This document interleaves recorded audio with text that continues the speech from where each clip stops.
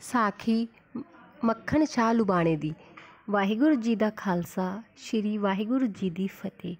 ਗੁਰੂ ਘਰ ਦਾ ਸਿੱਖ ਸੇਵਕ ਮੱਖਣ ਸ਼ਾਹ ਲੁਬਾਣਾ ਜਹਾਜ਼ ਵਿੱਚ ਮਾਲ ਲੁੱਦ ਕੇ ਸਮੁੰਦਰ ਵਿੱਚੋਂ ਆ ਰਿਹਾ ਸੀ।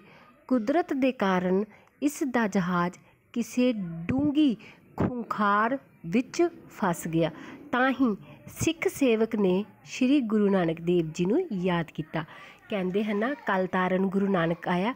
ਗੁਰੂ ਨਾਨਕ ਦੇਵ ਜੀ ਦੀ ਬਹੁਤ ਸਾਰੇ ਦਾ ਬੇੜਾ ਪਾਰ ਕੀਤਾ ਹੈ।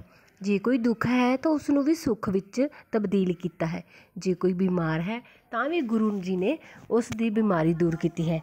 ਤੇ ਜੇ ਕੋਈ ਇਹੋ ਜਿਹਾ ਕੋੜੀ ਹੈ ਉਸ ਦੀ ਵੀ ਬਿਮਾਰੀ ਗੁਰੂ ਜੀ ਨੇ ਦੂਰ ਕੀਤੀ ਹੈ। ਗੁਰੂ ਜੀ ਆਪਣੇ ਆਪ 'ਚ ਹੀ ਮਹਾਨ ਹਨ। ਉਹਨਾਂ ਦਾ ਤਾਂ ਨਾਮ ਜ਼ੁਬਾਨ 'ਤੇ ਹਮੇਸ਼ਾ ਰਹਿੰਦਾ ਹੈ। ਧੰਨ ਗੁਰੂ ਨਾਨਕ, ਧੰਨ ਗੁਰੂ ਨਾਨਕ, ਧੰਨ ਗੁਰੂ ਨਾਨਕ। ਕਿਉਂਕਿ ਗੁਰੂ ਨਾਨਕ ਦੇਵ ਜੀ ਦੁਨੀਆ ਤਾਰਨ ਆਏ ਸੀ। ਗੁਰੂ ਨਾਨਕ ਦੇਵ ਜੀ ਨੇ ਬਹੁਤ ਸਾਰੇ ਇਹੋ ਜਿਹੀਆਂ ਆ ਹੱਡ ਬੀਤੀਆਂ, ਇਹੋ ਜਿਹੇ ਕਾਰਜ ਕੀਤੇ ਨੇ ਜੋ ਕਿ ਬਹੁਤ ਹੀ ਵਧੀਆ ਹਨ ਤੇ ਉਹਨਾਂ ਨੇ ਦੁਨੀਆ ਦਾ ਭਲਾਈ ਵਾਸਤੇ ਹੀ ਸਭ ਕੁਝ ਕੀਤਾ ਹੈ। ਸਿੱਖ ਸੇਵਕਾਂ ਨੇ ਸ੍ਰੀ ਗੁਰੂ ਨਾਨਕ ਦੇਵ ਜੀ ਨੂੰ ਜਦੋਂ ਯਾਦ ਕੀਤਾ, ਹੇ ਸਤਿਗੁਰੂ ਜੀ, ਆਪ ਜੀ ਦੀ ਗਦੀ ਉੱਤੇ ਜਿਹੜੇ ਵੀ ਗੁਰੂ ਬਿਰਾਜਮਾਨ ਹਨ, ਉਹ ਮੇਰਾ ਜਹਾਜ਼ ਬੰਨੇ ਲਾਉਣ। ਕਿ ਕਿਰਪਾ ਕਰਨ ਮੈਂ 500 ਮੋਹਰਾਂ ਭੇਟ ਕਰਕੇ ਆਪ ਜੀ ਦੇ ਦਰਸ਼ਨ ਕਰਾਂਗਾ। ਸਿੱਖਾਂ ਦਾ ਪ੍ਰੇਮ ਵੇਖ ਕੇ ਗੁਰੂ ਜੀ ਪਵਨ ਰੂਪ ਹੋ ਕੇ ਪਹੁੰਚੇ ਗਏ ਅਤੇ ਜਹਾਜ਼ ਨੂੰ ਆਪ ਮੋਢਾ ਦੇ ਕੇ ਪਾਰ ਕਰ ਦਿੱਤਾ। ਮੱਖਣ ਸ਼ਾਹ ਸ੍ਰੀ ਗੁਰੂ ਹਰਿਕ੍ਰਿਸ਼ਨ ਜੀ ਦੇ ਅਸਥਾਨ 'ਤੇ ਦਿੱਲੀ ਦਰਸ਼ਨ ਕਰਨ ਨੂੰ ਪਹੁੰਚਾ ਅਤੇ ਪਤਾ ਲੱਗਾ ਕਿ ਗੁਰੂ ਜੀ ਸਮਾ ਗਏ ਹਨ। ਸਿੱਖਾਂ ਕੋਲੋਂ ਪੁੱਛਿਆ ਗੁਰਗੱਦੀ ਕਿਹਨਾਂ ਨੂੰ ਸੌਂਪੀ ਹੈ? ਸਿੱਖਾਂ ਨੇ ਕਿਹਾ, ਬਾਬਾ ਬਕਾਲਾ ਕਹਿ ਕੇ ਸਮਾ ਗਏ ਹਨ। ਮੱਖਣ ਸ਼ਾਹ ਬਾਬੇ ਬਕਾਲੇ ਨੂੰ ਤੁਰ ਪਿਆ। ਤਾਂ ਸੋਢੀਆਂ ਨੂੰ ਪਤਾ ਲੱਗਾ ਮੱਖਣ ਸ਼ਾਹ ਲੁਬਾਣੇ ਨੇ ਮੋਹਰਾਂ ਵੰਡਣੀਆਂ ਹਨ। ਦੇਖੋ, ਗੁਰੂ ਨਾਨਕ ਦੇਵ ਜੀ ਦੇ ਅੱਗੇ ਉਸਨੇ ਅਰਦਾਸ ਕੀਤੀ ਕਿ ਵਾਹਿਗੁਰੂ, ਮੇਰਾ ਜਹਾਜ਼ ਬਚਾ ਦਿਓ, ਵਾਹਿਗੁਰੂ ਕਿਸੇ ਵੀ ਰੂਪ 'ਚ ਆ ਕੇ ਉਸ ਦੀ ਮਦਦ ਕਰਦਾ ਹੈ। ਇਹ ਦੁਨੀਆ 'ਤੇ ਸਭ ਨੂੰ ਹੈ ਕਿ ਵਾਹਿਗੁਰੂ ਕਿਸੇ ਨਾ ਕਿਸੇ ਰੂਪ 'ਚ ਖੁਦ ਆਉਂਦੇ ਹਨ। ਹੁਣ ਇਹ ਤਾਂ ਹੈ ਨਹੀਂ ਕਿ ਗੁਰੂ ਜੀ ਸਾਕਸ਼ਾਤ ਦਰਸ਼ਨ ਦੇ ਦੇਣ ਇਹੋ ਜਿਹੇ ਵੱਡੇ ਭਾਗ ਤੇ ਸਾਡੇ ਹੈ ਨਹੀਂ। ਇੰਨੇ ਜੋਗੇ ਵੀ ਨਹੀਂ ਹਾਂ ਅਸੀਂ ਕਿ ਗੁਰੂ ਜੀ ਖੁਦ ਆ ਕੇ ਸਾਨੂੰ ਸਾਕਸ਼ਾਤ ਦਰਸ਼ਨ ਦੇਣ। ਇਹ ਤਾਂ ਸਿਰਫ ਧੰਨ ਧੰਨ ਬਾਬਾ ਦੀਪ ਸਿੰਘ, ਧੰਨ ਧੰਨ ਸ਼੍ਰੀ ਗੁਰੂ ਨਾਨਕ ਦੇਵ ਜੀ, ਧੰਨ ਧੰਨ ਗੁਰੂ ਗੋਬਿੰਦ ਸਿੰਘ ਜੀ, ਜਿਹੜੀਆਂ ਕਿ ਇਹ ਰੱਬ ਦੇ ਰੂਪ ਹਨ ਨਾ, ਇਹਨਾਂ ਨੂੰ ਤਾਂ ਖੁਦ ਹੀ ਪਤਾ ਹੁੰਦਾ ਹੈ ਕਿ ਕੀ ਕਦੋਂ ਕਰਨਾ ਹੈ ਅਤੇ ਕਿੱਥੇ ਕਰਨਾ ਹੈ। ਅਤੇ ਜੇ ਕੋਈ ਇਹਨਾਂ ਅੱਗੇ ਦੁਆ ਕਰਦਾ ਹੈ, ਇਹਨਾਂ ਦੀ ਦੁਆ ਕੀਤੀ ਹੋਈ ਕਦੇ ਖਾਲੀ ਨਹੀਂ ਜਾਂਦੀ। ਅਤੇ ਜਦੋਂ ਗੁਰੂ ਜੀ ਜੋਤੀ ਜੋਤ ਸਮਾ ਗਏ ਸਨ ਤੇ ਮੱਖਣ ਸ਼ਾਹ ਲੁਬਾਣਾ ਬਾ, ਬਾਬਾ ਬਕਾਲੇ ਨੂੰ ਤੁਰ ਪਿਆ।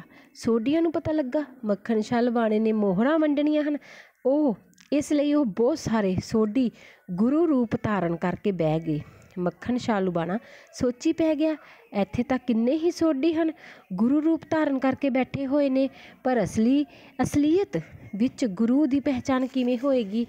ਇਸ ਕਰਕੇ ਮੱਖਣ ਸ਼ਾਹ ਲੁਬਾਣੇ ਨੇ ਸੋਚਿਆ ਕਿ ਪੰਜ ਪੰਜ ਮੋਹਰਾਂ ਸਭ ਦੀ ਭੇਟਾ ਕਰਕੇ ਮੱਥਾ ਟੇਕੀ ਜਾਵਾਂ। ਜੋ ਅਸਲੀ ਗੁਰੂ ਹੋਣਗੇ, ਉਹ ਮੇਥੋਂ 500 ਮੋਹਰਾਂ ਆਪ ਹੀ ਮੰਗ ਲੈਣਗੇ। ਅਤੇ ਗੁਰੂ ਜੀ ਨੇ ਜਿਵੇਂ ਮੱਖਣ ਸ਼ਾਹ ਲੁਬਾਣੇ ਨੇ 5-500 ਪੰਜ-ਪੰਜ ਮੋਹਰਾਂ ਸਭ ਅੱਗੇ ਭੇਟ ਕਰਕੇ ਮੱਥਾ ਟੇਕ ਕੇ ਪੰਜ-ਪੰਜ ਪੰਜ ਮੋਹਰਾਂ ਦਿੱਤੀਆਂ, ਪਰ ਪੰਜ ਸੌ ਮੋਹਰਾਂ ਕਿਸੇ ਨੇ ਵੀ ਨਾ ਮੰਗੀਆਂ। ਮੱਖਣ ਸ਼ਾਹ ਨੇ ਖੇਤਾਂ ਵਿੱਚ ਹੱਲ ਵਾਉਣ ਵਾਲੇ ਜ਼ਿਮੀਂਦਾਰਾਂ ਕੋਲੋਂ ਪੁੱਛਿਆਈ ਕੀਤੀ, ਇੱਥੇ ਕੋਈ ਹੋਰ ਸੋਢੀ ਰਹਿੰਦੇ ਹਨ? ਜ਼ਿਮੀਂਦਾਰਾਂ ਨੇ ਆਖਿਆ ਭਾਈ, ਇੱਥੇ ਤਾਂ ਇਹੋ ਹੀ ਸੋਢੀ ਬੈਠੇ ਹੋਏ ਹਨ। ਇਹ ਭੋਰੇ ਵਿੱਚ ਬਾਬਾ ਜੀ ਰਹਿੰਦੇ ਹਨ। ਉਹਨਾਂ ਦਾ ਨਾਮ ਲੋਕ ਤੇਗਾ ਕਰਕੇ ਕਹਿੰਦੇ ਹਨ, ਪਰ ਉਹ ਤਾਂ ਭੋਰੇ ਵਿੱਚੋਂ ਬਾਹਰ ਹੀ ਨਹੀਂ ਨਿਕਲਦੇ। ਇਸ, ਇਹ ਸੁਣ ਕੇ ਮੱਖਣ ਸ਼ਾਹ ਲੁਬਾਣਾ ਭੋਰੇ ਦੇ ਪਾਸ ਪਹੁੰਚਿਆ। ਅੱਗੇ ਮਾਤਾ ਨਾਨਕੀ ਜੀ ਬਾਹਰ ਖੜ੍ਹੇ ਸਨ। ਮੱਖਣ ਸ਼ਾਹ ਨੇ ਕਿਹਾ, ਮਾਤਾ, ਮੈਂ ਗੁਰਾਂ ਜੀ ਦੇ ਦਰਸ਼ਨ ਕਰਨੇ ਹਨ। ਅੱਗੋਂ ਮਾਤਾ ਜੀ ਬੋਲੇ, ਉਹ ਤਾਂ ਭੋਰੇ ਵਿੱਚੋਂ ਬਾਹਰ ਹੀ ਨਹੀਂ ਨਿਕਲਦੇ। ਕਿਉਂਕਿ ਉਹ ਆਪਣਾ ਤਪ ਕਰਦੇ ਨੇ। ਤਪ ਕਰਕੇ ਹੀ ਤਾਂ ਗੁਰੂ ਜੀ ਬਹੁਤ ਦੁਨੀਆ ਨੂੰ ਤਾਰਿਆ ਹੈ। ਮੱਖਣ ਸ਼ਾਹ ਨੇ ਆਖਿਆ, ਮਾਤਾ ਜੀ, ਗੁਰੂ ਜੀ ਦੇ ਕੋਲ ਜਾ ਕੇ ਆਖੋ, ਤੁਹਾਡਾ ਸਿੱਖ ਤੁਹਾਡੇ ਦਰਸ਼ਨ ਕਰਨ ਵਾਸਤੇ ਆਇਆ ਹੈ। ਮਾਤਾ ਜੀ ਨੇ ਗੁਰੂ ਜੀ ਨੂੰ ਜਾ ਕੇ ਕਿਹਾ, ਬਾਹਰ ਇੱਕ ਸਿੱਖ ਖੜਾ ਹੈ ਜੋ ਤੁਹਾਡੇ ਦਰਸ਼ਨ ਕਰਨੇ ਚਾਹੁੰਦਾ ਹੈ। ਗੁਰੂ ਜੀ ਨੇ ਹੁਕਮ ਕੀਤਾ, ਮਾਤਾ ਜੀ, ਉਸ ਨੂੰ ਇੱਥੇ ਸਾਡੇ ਕੋਲ ਭੋਰੇ ਵਿੱਚ ਹੀ ਸੱਦ ਲਵੋ। ਮਾਤਾ ਜੀ ਨੇ ਮੱਖਣ ਸ਼ਾਹ ਲੁਬਾਣੇ ਨੂੰ ਭੋਰੇ ਵਿੱਚ ਸੱਦਿਆ ਅਤੇ ਮੱਖਣ ਸ਼ਾਹ ਲੁਬਾਣੇ ਨੇ ਪੰਜ ਮੋਹਰਾਂ ਗੁਰੂ ਜੀ ਨੂੰ ਭੇਟਾ ਕਰਕੇ ਮੱਥਾ ਟੇਕਿਆ। ਗੁਰੂ ਜੀ ਨੇ ਆਖਿਆ, ਭਾਈ, ਐਡੀ ਜਲਦੀ ਭੁੱਲ ਗਿਆ ਹੈ। 500 ਮੋਹਰਾਂ ਸੁੱਖ ਕੇ ਪੰਜ ਮੋਹਰਾਂ ਦੀ ਭੇਟ ਸਾਡੀ ਕਰਨ ਦਾ ਪਿਆ ਹੈ ਜਦੋਂ ਉਹਨਾਂ ਨੇ ਇਹ ਗੱਲ ਕਹੀ ਨਾ, ਤਾਂ ਮੱਖਣ ਸ਼ਾਹ ਲੁਬਾਣੇ ਨੂੰ ਹੋਇਆ ਕਿ ਹਾਂ ਸ਼, ਇਹ ਮੇਰੇ ਅਸਲੀ ਗੁਰੂ ਨੇ, ਜਿਨ੍ਹਾਂ ਦੇ ਕੋਲੋਂ ਮੈਂ ਸੁੱਖਣਾ ਕੀਤੀ ਹੈ ਅਤੇ ਇਹ ਮੇਰੀ ਸੁੱਖਣਾ ਪਾਰ ਕੀਤੀ ਹੈ, ਇਹਨਾਂ ਨੇ ਮੈਨੂੰ ਬਚਾਇਆ ਹੈ, ਮੈਂ ਆਪਣੀ ਸੁੱਖਣਾ ਜ਼ਰੂਰ ਲਾਵਾਂਗਾ। ਇਹ ਵੇਖ ਕੇ ਸਾਡੇ ਮੋਢੇ ਤੇ ਤੇਰਾ ਜਹਾਜ਼ ਤੇ ਅਜੇ ਤੀਕ ਕਿੱਲ ਚੁੱਭ ਹੋਏ ਹਨ, ਕਿਉਂਕਿ ਜਦੋਂ ਗੁਰੂ ਜੀ ਨੇ ਮੋਢਾ ਦੇ ਕੇ ਉਸ ਦੇ ਜਹਾਜ਼ ਨੂੰ ਬਚਾਇਆ ਸੀ ਨਾ, ਤਾਂ ਗੁਰੂ ਜੀ ਦੇ ਮੋਢੇ ਤੇ ਕਿੱਲ ਚੁੱਭੇ ਹੋਏ ਸਨ। ਉਸ ਵੇਲੇ ਮੱਖਣ ਸ਼ਾਹ ਲੁਬਾਣਾ ਪੰਜ ਸੌ ਮੋਹਰਾਂ ਗੁਰੂ ਜੀ ਦੀ ਭੇਟਾ ਕਰਕੇ ਚਰਨੀ ਡਿੱਗ ਪਿਆ ਅਤੇ ਕਹਿਣ ਲੱਗਾ, ਜਾਨੀ ਜਾਨ ਸਤਿਗੁਰੂ, ਜੀ, ਮੈਂ ਭੁੱਲ ਗਿਆ ਹਾਂ, ਮੈਨੂੰ ਬਖਸ਼ ਲਵੋ। ਇੰਨਾ ਕਹਿੰਦੇ ਹੀ ਮੱਖਣ ਸ਼ਾਹ ਲੁਬਾਣਾ ਬਾਹਰ ਆ ਕੇ ਪੁਕਾਰ ਪਾ ਦਿੱਤੀ। ਗੁਰੂ ਲਾ ਦੋ ਰੇ, ਗੁਰੂ ਲਾ ਦੋ ਰੇ, ਗੁਰੂ ਤੇਗ ਬਹਾਦਰ ਲਾ ਦੋ ਰੇ। ਦੇਖੋ ਕਿ ਜਦੋਂ ਕੋਈ ਮੁਸੀਬਤ 'ਚ ਹੁੰਦਾ ਹੈ ਨਾ, ਮੁਸੀਬਤ ਵਿੱਚ ਸਾਥ ਦੇਣ ਵਾਲਾ ਸਿਰਫ ਆਪਣਾ ਪ੍ਰਭੂ ਪਰਮਾਤਮਾ, ਪਰਮ ਪਿਤਾ ਹੀ ਹੁੰਦਾ ਹੈ। ਕਿਉਂਕਿ ਜੇ ਉਹ ਸਾਥ ਦੇਣ ਤਾਂ ਸਾਡਾ ਕੋਈ ਵਾਲ ਵੀ ਵਿੰਗਾ ਨਹੀਂ ਕਰਦਾ।